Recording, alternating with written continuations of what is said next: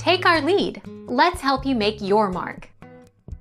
Our goal is your satisfaction. Let us show you the way.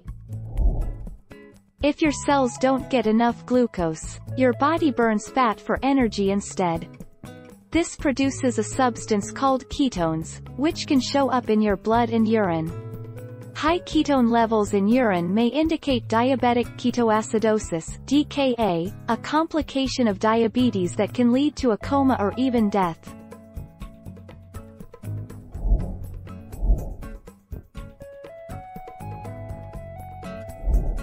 Make your mark. Take our lead. Talk to your doctor immediately if your urine results show moderate or large amounts of ketones. This is a sign that your diabetes is out of control, or that you are getting sick.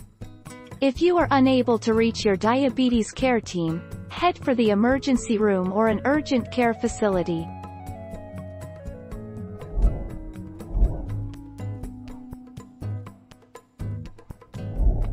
Make your mark. Take our lead. Dehydration. High blood sugar levels, which lead to high ketone levels, significantly increase urination and can lead to dehydration.